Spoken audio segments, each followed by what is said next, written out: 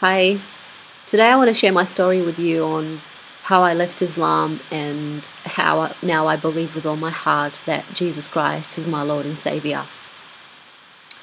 I grew up in a very abusive environment. I was living with a family that was very, very strict in terms of following Islam, and I was basically abused on a daily basis. And at some point in my life, I decided to escape. And eventually, I was able to run away and find myself a place to live in by myself. I've got a, a younger sister who was living with my family at the time, and she was going exactly through the same thing. And because she was underage, she was taken from my family by Department of Community Services and placed under foster care. Throughout my whole life, I've been experiencing demonic attacks. So I'd be waking up in the middle of the night and I feel like there's someone there choking me. I can't breathe. Or I feel like someone there stabbing me with a knife. I feel the pain and all sorts of paranormal activities you can think of. Doors slamming at night. I hear someone breathing next to me. It was absolutely terrifying. And at some point, I couldn't take it anymore, so I had to go out and look for help. And I've brought in a lot of people into my house. I've spoken to a lot of people from different religions, from all sorts of, from all different walks of life, everything you can think of, and no one could help me. I, I brought in a sheikh um, to, to see if he could help me. He couldn't do anything. And one day I I spoke to one of my friends who was Christian and I told him about everything that was happening in my house and especially um, with my sister that used to come and stay over at my place occasionally and eventually I was able to become her foster parent. She moved in with me. We're both going through exactly the same thing. And the Christian man came into my house and he started to pray in the name of Jesus Christ. And as soon as he commands every evil spirit to leave in the name of Jesus Christ, you could feel the peace. You could feel the power of the name of Jesus Christ. And something in there just moved me from the inside that just I can't explain it. It's it's so powerful. It's it's his his name is incredibly powerful, and everything would just run. So when when that happened, and and and me and my sister started to notice a difference whenever we um, ask these evil spirits to leave in the name of Jesus Christ, they would leave. So we knew there was something there, something very special. So um, eventually my friend invited me to go to Bible studies.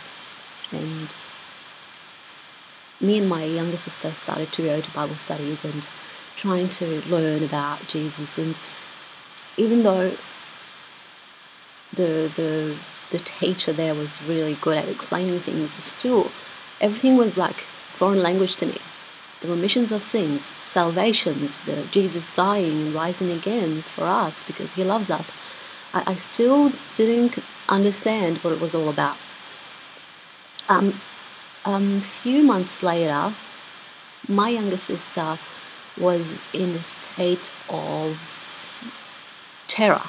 She was terrified.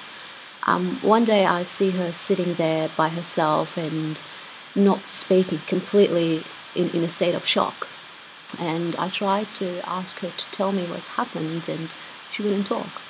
And eventually, after spending hours with her, convincing her that she could tell me anything, and I'm her older sister, I can handle I can handle things.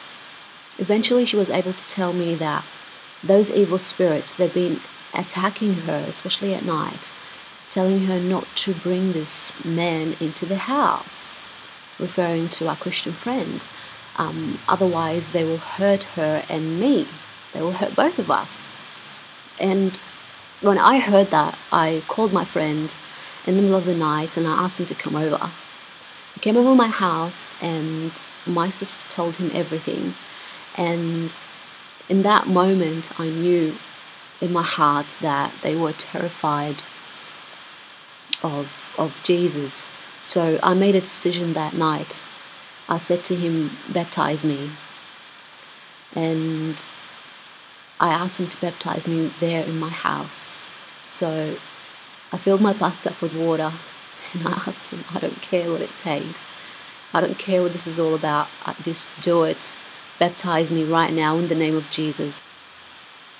So I got baptized, and my, my younger sister got baptized too. And um, we started to go to Bible studies and trying to learn more about Jesus. And at, at some point, I was still in a state of confusion, thinking, really, there's no difference between the two religions. I mean, if I need something or if I feel like that there's some evil spirits in my house, I would just call on Jesus' name and I'll be fine. So I stopped going to Bible studies, I've, I've stopped praying, and I went, over time, I went through tribulations. And when I say tribulations, I mean hell on earth. I've lost everything. I've anything you can think of. I've lost my job, my house, my younger sister left, I've lost absolutely everything, and I reached the point of suicidal. I was thinking to kill myself, and I picked a day and I said, Today I'm going to end my life. And I was heading out to the pub to get drunk so I could just kill myself and not feel any more pain. And as I'm walking on the street, I felt like there's this invisible power that stopped me there. I can't explain it in words. It was just this power that someone there standing and stopping me from going there and, and sort of pulled my face to look towards that direction where once I turned around and looked, there was a church there, and I knew there Jesus was calling me. And I remember going there, and it was a Korean church. They, they prayed in their own language. I couldn't understand a word, but I knew that Jesus was pulling me into the church. He was saying to me, Come to me, and I'll take everything away from you. And I walked in and sitting there for 10 minutes in a lot of pain I walked out, I couldn't take it, and I cried. I said to him, I don't think you can help me. The glass is already broken. And then I went back home, and as I'm walking back home crying, I got very angry. I started screaming at him. I was looking at the sky and shouting at him, saying to him horrible things asking him, How could you say that you're my father? How could you sit there and say that you're there and you love us? And you're looking at me right now and I'm in a lot of pain. How could you just sit there and do nothing? What's the point? They say you died for us, you were crucified for us, and I am feeling like I am being crucified right now. I said a lot of hurtful things to him, and when I got home, I just broke down and I went on my knees. And this is the first time I prayed to Jesus Christ with all my heart. I said to him, Listen, Jesus, I don't know who you really are, but all I know is every time I call your name, you help me. And I just want to say thank you. Please help me take this pain away from me. And that night, I had a dream. I I was walking in darkness. I was walking and running, and the darkness doesn't end. I was in this place where it's completely dark. It's like it goes it goes on forever, completely dark. And as I was running and running and running, and it doesn't end, I started to scream. I scream, Jesus, Jesus, and screaming really loud. And then I hear a voice right next to me, someone standing next to me. He goes to me, You don't have to scream, I can hear you. And when I turned around, there was Jesus Christ standing right next to me. And when I'm looking at him, his when when you're in front of him, when you're in his presence, he this magisterial authority he's got. I can't explain it in words. There's this authority, this majesty, this power standing next to me, and he's looking at me, and he says to me, No need for screaming. Even if you call me in your heart, I'll be there. And he takes my hand and takes me out of that darkness. He takes me into this place where I can't explain what it feels to be in that place. There was just amazing lights that I had to cover my my eyes and, and put my hand on my face because I couldn't see anything from the brightness. And then when I woke up, I was in a state of awe. I was completely shocked. There is this beautiful thing when when you see Jesus Christ, there's that amazing love you feel coming out of Him. You know He loves you. It's like He tells you, I love you. You just feel it. And at the same time, He is so powerful. He is, oh, I can't explain it in words. And when I had that dream, I knew that in my heart that God cares for me, but I didn't understand why I, I, I saw Jesus. I mean, he, he's not just a prophet, he's not just a man. He looks like a man, but he's not a man. He is the Almighty. I can't put it in words. And two days after I had my vision of Jesus Christ, my father called me. My father was was overseas on holidays. He came back and I got a phone call from him. And dad spoke to me on the phone, and at that point, I, I knew there's, I wanted to belong to, to Jesus. I wanted to walk away from everything, and He is my Lord. And I spoke to my dad on the phone, and I was really, really scared. Um, I didn't know how to word it. I didn't know how to tell him, and without him getting really angry at me. So I, I didn't know even what they do at church. I didn't know much about Christianity. All I said to my dad was, Dad, I went to church because it's Easter and because I wanted to give chocolate. Because I, I assumed that people would give chocolate. It's Easter. And my dad is very, very smart. He, he said to me, Listen, darling, I know you've become Christian. It's okay.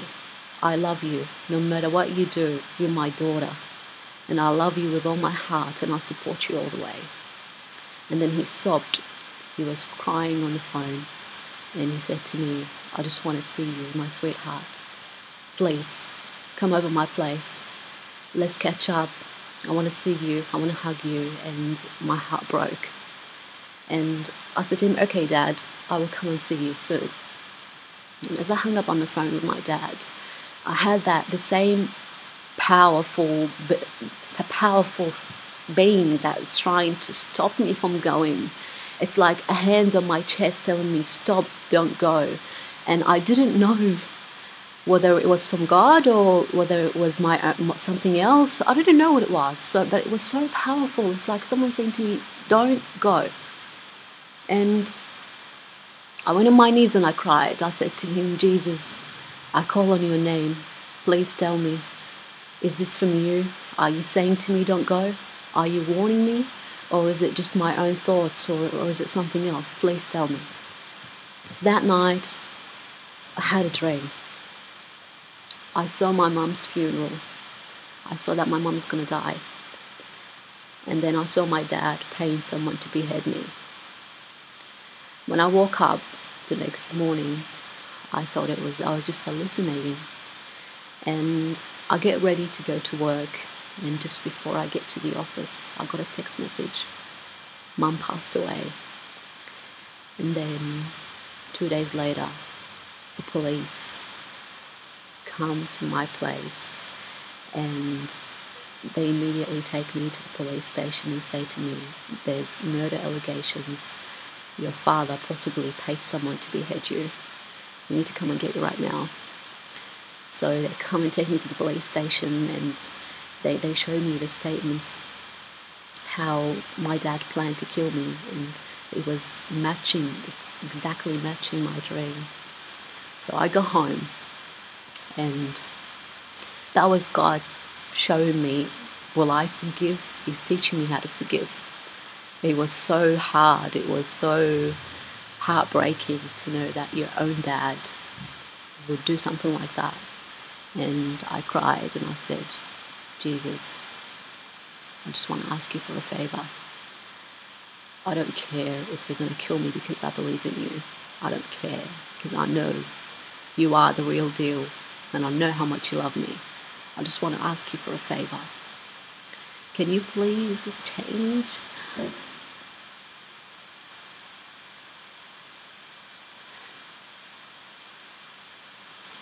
Can you please change? Wake up. Uh, they want to kill me. Can you give me a peaceful death?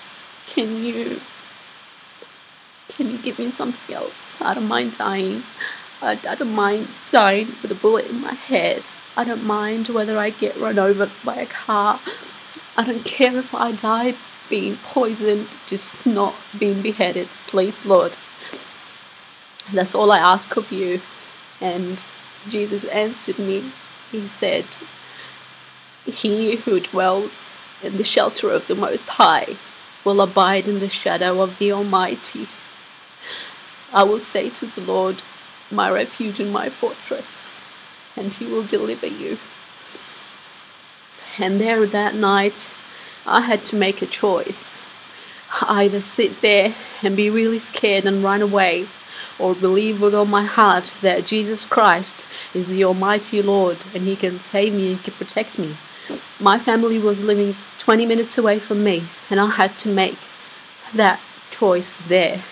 And I made a decision that I will stay where I am and I'm not fearing them. I will not fear death because Jesus says, I will protect you. And He did. Months went by and years, and no one dares to come near me. And this is something I've struggled with for so long. It was the crucifixion of Jesus Christ. It always made no sense to me. How could God die for you? God doesn't die. How could He die for you? And it was there God showed me how at that moment where I see my own father paying someone to kill me, then I believed that Jesus died for me. Because my real father died for me. He's not the one that's trying to kill me. I can't thank God enough for everything He's done for me. Absolutely. I, I can do absolutely no matter what I do, I can't thank him enough for what he's done. He taught me something. He taught me how to trust in him. And if you really, really trust in God, you are pleasing him. And no matter who you are, no matter where you're from, no matter how bad you've done in the past, the moment you call on Jesus Christ, He's there and he doesn't care about how bad, how much, you know, how much sins you, you, have had or, or how, how bad or what kind of person you are. The moment you turn to him and say, Jesus, help me, he is faithful and he will help you. I pray that God bless you all, and I pray each and every one of you experience the love of the living God because it's the best thing ever. God bless you all.